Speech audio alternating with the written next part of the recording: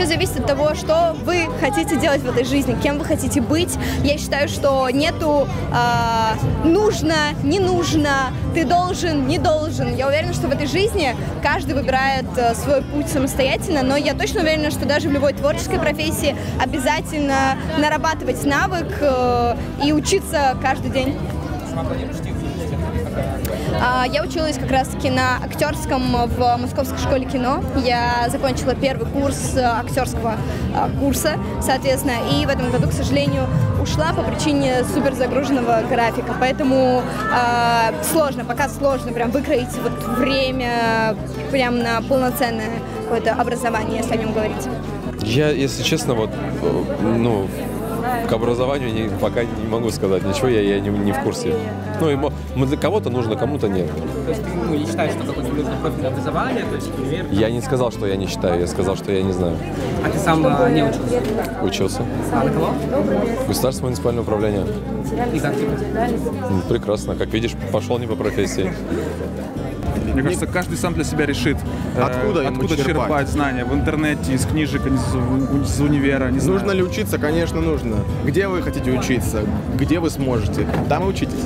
А, ты знаешь, я считаю, что наоборот, именно сейчас эпоха профильного образования, потому что а, если рас- растекаться древе, э, скажем так, по маслу, ничего не получится. Нужно сконцентрироваться и бить в одну цель, в одну точку. Вот, вот хочу быть вот тем-то, и все. И я считаю, что там с восьмого, с девятого класса, если детки уже определились, и у них уже есть какие-то определенные навыки, кто-то врач прекрасный, да, там заботится о здоровье, еще что-то, кто-то прям вот э, хочет быть юристом, не знаю, обожает законодательство, кто-то вот, как вы сказали, блогер, кто-то поет прекрасно, то надо вот уже направлять.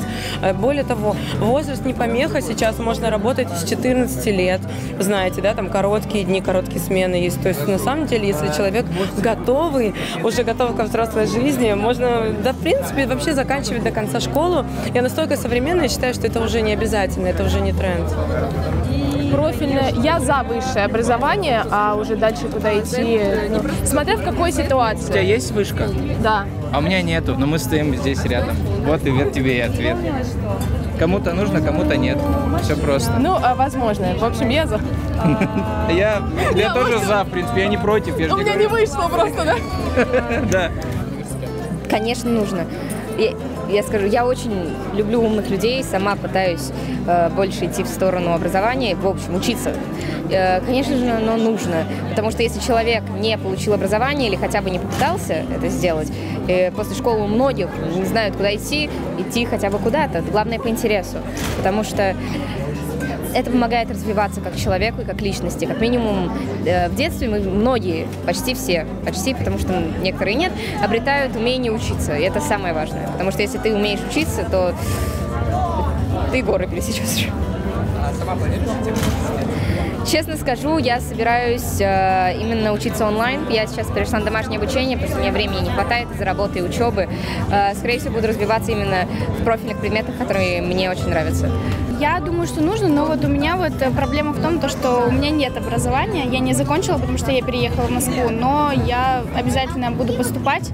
Пока что еще точно не решила, но образование я получать буду, и я считаю, что это очень важно.